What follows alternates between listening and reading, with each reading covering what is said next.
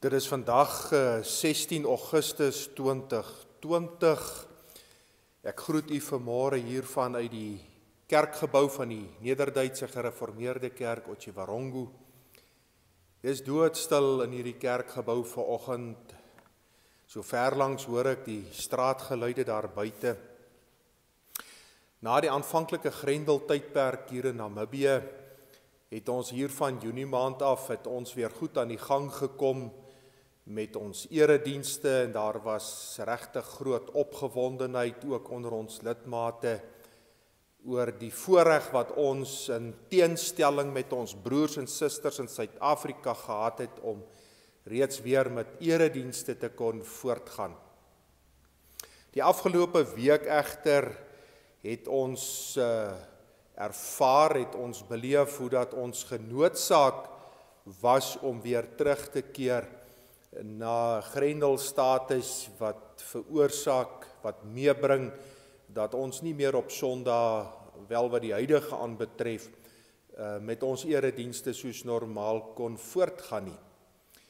En dit is die rede hoekom ek vanmôre hier in so doodstil kerkgebou staan waar net ek alleen is en die gemeente nie teenwoordig kan wees nie. Gelukkig genadiglik het ons die voorreg ook van die moderne tegnologie ehm um, en dan ook YouTube wat ons dan ook probeer maksimaal benut om ook met u as gemeente te kommunikeer. En vriende, ja, vir myself kom ek deel maar sommer net so uit my eie hart uit met u vir myself die afgelope week toe ons die aankondiging dan nou weer hoor dat ons dat ons nou nie Sondag meer of ten minste vir die soos ek sê vir die huidige hierdie Sondag en waarskynlik nou volgende Sondag uh, erediens in die ware sin van die woord kan nou nie. Was dit vir my sleg geweest? Dit was sleg geweest om dit te hoor. Dit was sleg geweest om nou weer te moet hoor ons het nou gedink ons kom nou net goed aan die gang. En daar is alles nou weer tot nie. Daar is alles nou weer weer terug na na waar alles was uh, aan die einde van Mei maand. Liewe vriende, die afgelope week uh het ons die Bybelstudie wat in die fonteintjie ons gemeente blaadjie vir ons aangebied word, het ons saam Bybelstudie gedoen uit Sagaria hoofstuk 3. En weet u hoe wonderlik is dit nou dat uh die oomblik toe ek hierdie week besef, nou afgelope week besef, maar daai daai daai daai negatiewe gevoel van ons is nou weer terug van waar waar al waar ons begin het. Ons is weer terug by square one soos wat die Engelsman sê. Was dit wonderlik vir my gewees? Was dit absoluut insiggewend vir my gewees om te ervaar, om te beleef hoe dat dit presies die boodskap is van van Sagaria 3. Hoe dat dit presies eintlik die boodskap is van ons Bybelstudie hierdie week. En nou moet u onthou Suster Ivy Doman wat vir ons die fonteintjie behartig en en wat vir ons dan nou ook hierdie Bybelstudies in die fonteintjie plaas. Um ek meen toe sy hierdie fonteintjie voorberei het, sy glad nie geweet dat ons gaan terugkeer na 'n grendelstatus wat wat vir ons laat voel ons is nou weer terug by square one nie. Glad te gehele al nie.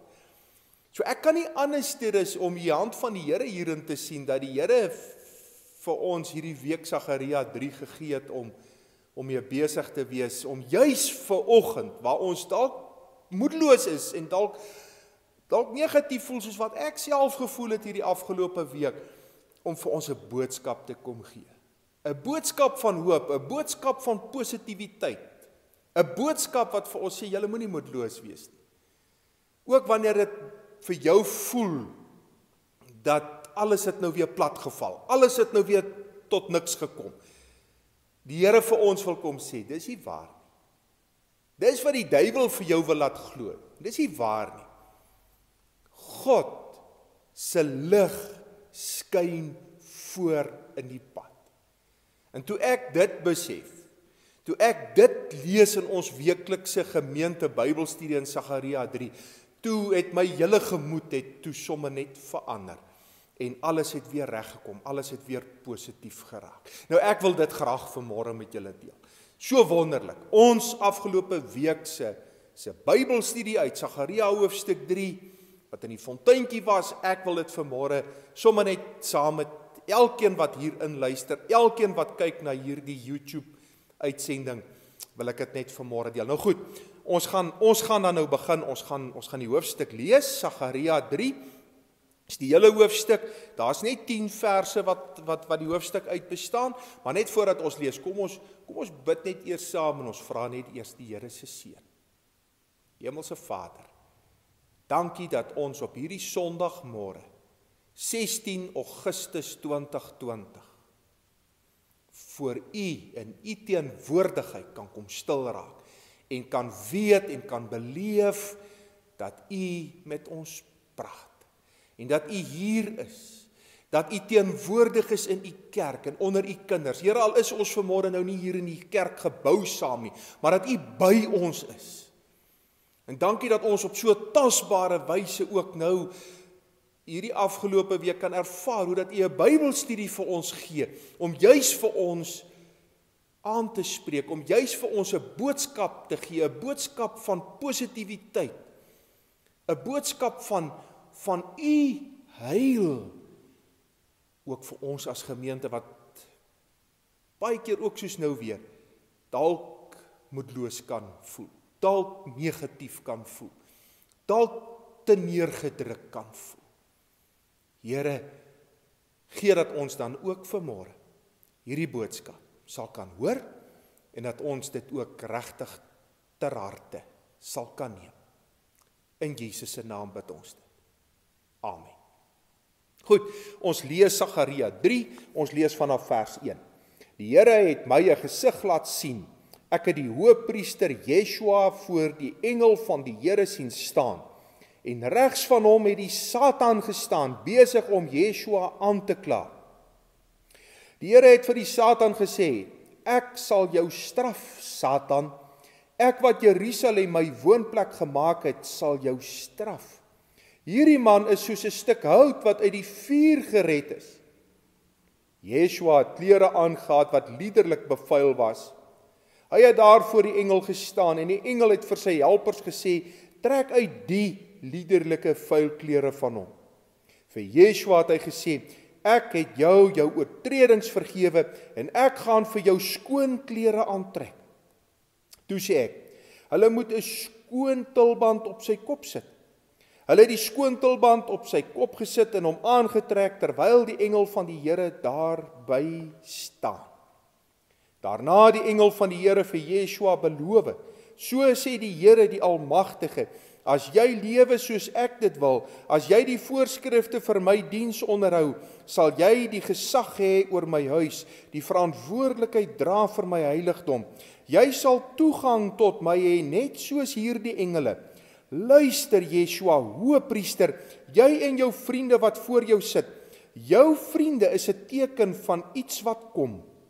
Ek gaan my dienaar Lot nou bring. Ek sit voor Yeshua klip neer en op hierdie een enkele klip is daar sewe oë. Ek gaan nou 'n grafeersel daarop aanbring sê die Here die Almagtige en ek gaan die sonde van hierdie land op een enkele dag wegneem. Daardie dag sê die Here die Almagtige sal die mense weer rustig oor en weer na mekaar roep onder die wingerdstokke en die vye bome. Dis die hele hoofstuk. Ons lees net tot daar. Mag die Here ons nou seën wanneer ons kortliks hierdie gedeelte oordink. Liewe vriende, ons moet verstaan dat hierdie gedeelte van die boek Sagaria speel af ehm um, net na die Babiloniese ballingskap Dit was net voor die inwyding van die herboude tempel in Jerusalem gewees. So, kom ons dink onsself net vir 'n oomblik in in hierdie mense se situasie. Vir 70 jaar was die Here se volk in ballingskap in Babilonie gewees. Hulle land was verwoes gewees. Al hierdie dinge het natuurlik gebeur oor die sondigheid van die volk, die wederstrewigheid van die Here se volk, hulle ongehoorsaamheid. Uiteindelik het hierdie ballingskap plaasgevind as 'n oordeel wat die Here oor sy volk toegelaat het. Maar ons weet ook dat die Here sy volk wel oordeel en dat die Here wel sy volk se sondes aanspreek en die sondes van sy volk straf. Maar die Here bly steeds lief vir sy volk. Die Here bly steeds teenwoordig by sy volk. Die Here draai nie sy rug op sy volk nie. Die Here is steeds besig om 'n pad met sy volk te stap. Die straf van die Here is nie 'n straf om te verwoes en te vernietig nie. Die straf van die Here is 'n tugtiging, 'n liefdevolle tugtiging om sy volk terug te bring op die regte pad. Goed. Die volk is terug in Jerusalem. Hulle is terug in Palestina. Die stad word herbou, die tempel word herbou. Ons het 'n nuwe begin. En dan ewe skielik, Sagaria hoofstuk 3. Hier kry ons hierdie gesig wat die profeet sien die hoëpriester Yeshua, hier staan hy. Hy word aangekla deur die duiwel, deur die Satan. En dis nie om dowe neete nie, ek en jy daar gelees in die 3de vers. Sy klere was inderdaad vuil. Hierdie volk het pas teruggekeer uit die ballingskap. Hierdie volk het pas die geleentheid om nou weer voor te begin om 'n nuwe begin te maak. Maar alreeds is die sonde weer daar. Alreeds is die afkeerigheid van die Here weer daar, selfs by die hoëpriester, selfs by die geestelike leier, selfs by die dominee is hierdie sonde teenwoordig. Daar staan duidelik, sy klere was liderlik bevuil. En natuurlik Satan is onmiddellik by om aan te kla. Satan is onmiddellik by om die vinger te wys. Satan is dadelik daar om die geleentheid uit te buit. Maar vriende, ons lees ook hier is nie net die Satan wat daar staan nie. Dis nie net Yeshua wat daar staan nie. Ons hoor ook van die engel van die Here wat ook daar staan. En dan praat die Here daar in die tweede vers. En is letterlik asof hy in vandag se Afrikaans vir die Satan wil sê: "Sis. Skaam jy jou nie? Hierdie man is soos 'n stuk hout wat uit die vuur gered is. Het jy dan nie 'n hart nie? Is daar dan geen liefde in jou nie?" Dis eintlik wat ons so hoor as ek en jy vers 2 van Sagaria 3 lees. En natuurlik is dit so die duiwel ken geen liefde nie. Dis iets wat glad nie in Satan se se woordeskat bestaan nie. En dis die groot verskil tussen hom en die Here. Die Here is die God van liefde. Ten spyte van Yeshua se se liderlik bevuilde klere het die Here steeds lief. Die Here sien die vuilheid raak ja. Die Here sien die sonde raak, maar hy is nie daar om vinger te wys. Hy's nie daar om te verwerp. Hy's nie daar om te verwoes. Hy's nie daar om dood te maak nie. Nee. Nee, nee. Terwyl die duiwel dit wil doen, terwyl die duiwel wil beskuldig, is die Here daar om te sê: "Skaam jy jou nie? Hierdie man is wel vuil. Hierdie man Yeshua verteenwoordig nie net die geestelike leiers. Hy verteenwoordig nie net homself nie. Hy verteenwoordig eintlik die ganse Israelitiese volk op die stadium. Hierdie teruggekeerde volk wat alreeds ook weer met sonde bevuil is. Maar God het lief. God wil red. God wil verlos. Die engel van die Here. Hy sê daar aan die einde van vers Eintlik kom ons kyk maar na die hele vers 4. Die engel van die Here sê: "Trek uit die liderlike vuil klere van hom." Vir Yeshua het hy gesê: "Ek het jou jou oortredings vergewe en ek gaan vir jou skoon klere aantrek." Ek gaan my nie verlustig in jou sonde nie. Ek gaan my nie verlustig in jou verlorendheid nie. Ek gaan my nie verlustig in die feit dat jy met vuil klere hier staan en dat jy 'n verleentheid is nie. Nee, ek gaan dit verander. Ek gaan vir jou 'n nuwe begin weer gee. Dis nie die eerste nuwe begin wat jy kry in Israel. Dis die soveelste ene, maar ek gee dit weer vir julle. 'n Nuwe begin. Skoon klere en dis die engel van die Here. En as die engel van die Here hier sê, hy sê Ek gaan jou jou oortredings vergewe, vriende, soos wat ek en u weet. In die Ou Testament wanneer daar sprake is van die engel van die Here, wie is dit wat oortredings kan vergewe? Dis alleen Jesus Christus. Op hierdie manier in die naam in terme van die engel van die Here is Jesus Christus alreeds 'n realiteit, 'n werklikheid. Is hy alreeds teenwoordig ook in die Ou Testament? Ek gaan jou sondes vergewe. Ek gaan vir jou skoon klere aantrek. En dit is presies wat gebeur. Liewe vriende, Ons wat ook nou beleef het met die corona grendel tydperk. Ah, hier 'n begin van Junie. Ons het 'n nuwe begin. In die afgelope week, ag nee, daar val alles weer plat. Presies so dieselfde met Yeshua en die teruggekeerde ballinge. Ons het 'n nuwe begin. Ons herbou die stad, ons herbou die tempel, maar ewe skielik, ag nee. Daar is ons weer terug by square one. Sonde is al klaar weer teenwoordig. Die duiwel wil kom en die duiwel wil vir my en vir jou ook soos wat hy vir Yeshua kom kom probeer doen het. Kom sê ja, sien julle, daar is julle nou weer klaar. Julle moet moedeloos wees. Daar is geen hoop nie. Dit gaan nooit einde kry nie. Vanmôre kom sê die Here vir ons, ja. Dinge loop nie in hierdie lewe alles net reg. Is nie net maanskyn en rosie want daar is sonde, daar is ongeregtigheid. En dis as gevolg van dit dat hierdie lewe onvolmaak is. As gevolg van dit alles dat hierdie pad maar 'n hobbelrige pad is. Maar ek staan nie voor julle. Ek staan hier by julle met 'n met 'n beskuldigende vinger. Ja, ek sien julle sonde raak, ja. Ek is nie blind daarvoor nie, maar ek is hier nie om te verwoes en te vernietig en te veroor. Ek is hier om vir julle skoon klere te gee. Ek is hier om julle te vergewe. Ek is hier om julle te red. En daarom, liewe vriende, ook vanmôre op hierdie Sondag, 16 Augustus 2020 kom die Here met met Sagaria 3 en hy wil vir ons ook sê ons wat dalk hierdie afgelope week ook al weer moedeloos geraak het oor hierdie hernuide grendel tydperk waarin ons nou skielik weer vasgevang is. Die Here wil sê ja, hierdie lewe en sy ups and downs, hierdie lewe en die die werklikheid van van sonde en ongeregtigheid wat al hierdie ups and downs veroorsaak is 'n realiteit en ek sien dit raak. Maar ek is ook 'n werklikheid. Die engel van die Here en Jesus Christus staan op 'n oggend soos vanoggend ook by ons. En hy is hier nie net om ons sondes te vergewe nie, maar om ons ook te vat op 'n nuwe pad. Vriende, en daarom kan ek en jy nie anders om vanmôre opnuut ook steeds opgewonde te wees en te sê met my God loop ek 'n bende storm. Met my God spring ek oor enige muur. Ja, ek sal ook oor hierdie corona muur sal ek spring en gaan ek spring hierdie saak, hierdie goed, hierdie situasie gaan God se kinders nie onderkry nie. Vriende, haleluja. Prys die Here dat ons op so 'n wonderlike manier ook hier vanmôre met ons afgelope week se Bybelstudie hierdie besonderse boodskap ook met mekaar kan deel.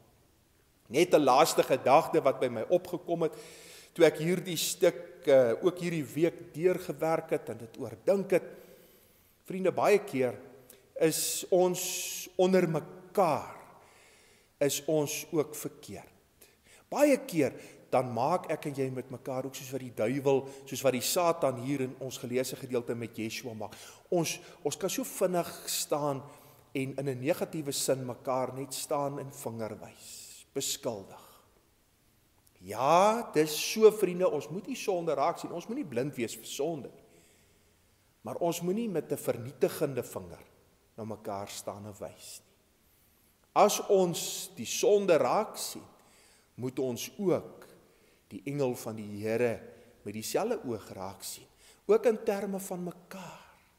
En ek en jy moet die boodskap bring van sonde en ongeregtigheid. Ja, maar ons moenie nalat om ook vir mekaar met die liefde van Jesus die boodskap te bring dat die engel van die Here gereed staan om ons sonde, ons oortredinge te vergewe, ook my naaste, my vriende, my familie se oortredinge te vergewe, my medegemeentelid se oortredinge te vergewe en ons almal met nuwe skoon klere te bekleed.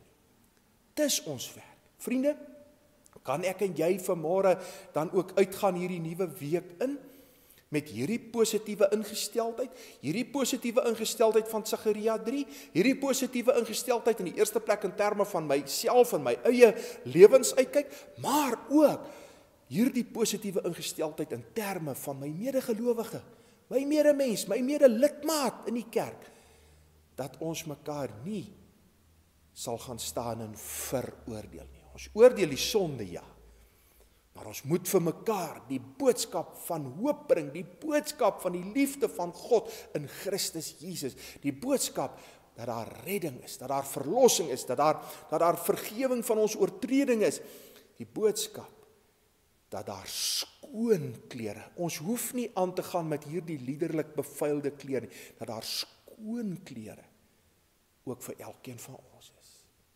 Geliefdes, kom ons onthou wat geskrywe staan in 1 Johannes 1 vers 9. As ons ons sondes bely, hy is getrou en regverdig. Hy vergewe ons die sonde en reinig ons van alle ongeregtigheid. Dit is die evangelie. Dit is die blye boodskap en wonderlik dat ek en jy dit ook vanmôre op hierdie manier uit die Here se hand kan ontvang. Kom ons bid saam. Here, dankie vir u liefde. Dankie Here dat u uitstyg, ver uitstyg bo die ups en downs van hierdie wêreld. Ja Here, soos wat dit die geval was hier in Sagaria 3 met u volk en die hoëpriester Yeshua, Here, waar hulle teruggekom het uit die ballingskap en nuwe begin kom maak het en ewe skielik toe hulle weer in hierdie hierdie hierdie hierdie negatiewe situasie waar die sonde so duidelik uitstaan en waar die duiwel gereed staan om te met sy vinger te wys en te kom te kom veroordeel. Here, dat dat U vir ons die boodskap bring dat U in u liefde wel die sonde raak sien, maar dat u nie kom veroordeel nie. Dat u kom om te vergewe en dat u kom om ons te klee met skoon klere. Dankie Here dat ons dit ook vanmôre kan weet. Ons wat ook hierdie afgelope week weer negatief geraak het en negatief beïnvloed is as gevolg van 'n hernieude grendelstatus in ons land. Here gee dat ons dat ons ook kan weet dat die Here God die ware God, die enigste God, ver uitstyg bo hierdie wêreld en sy omstandighede. Dat hierdie wêreld en sy omstandighede u nie kan vashou nie. U nie kan gevange hou nie. En dat u u kinders saam met u dan ook laat triomfeer bo hierdie wêreld en hierdie omstandighede. Ja, Here, ook bo hierdie hernuide grendel toestand. Gee Here dat ons almal waaragtiglik ons sonde vierkantig in die oë sal kyk dat ons dit nie sal probeer toevee nie en dat ons daarmee na Jesus toe sal kom sodat hy kan vergewe en sodat hy ons kan klee met nuwe klere. Dankie Here vir hierdie boodskap vandag. Gee dat ons dan ook so met mekaar sal werk dat ons sal deel met die sonde ja Maar behoed en bewaar ons daarvan, Here, dat ons mekaar ooit sal veroordeel. Gee Here dat in ons hart, in ons gesindheid, in ons omgaan met mekaar, in ons woorde ook teenoor mekaar die blye evangelie voortdurend na vore sal kom. Daar is redding by die engel van die Here. Daar is vergifnis van oortredinge. Daar is skoon klere in Christus. Dit bid ons in sy naam alleen. Amen. Liewe vriende, mag hierdie komende week vir julle almal 'n wonderlike week wees. Mag julle dit geniet en mag dit met elkeen van ons baie baie goed gaan in die Here se naam. Mooi en 'n geseënde Sondag vir elkeen van julle.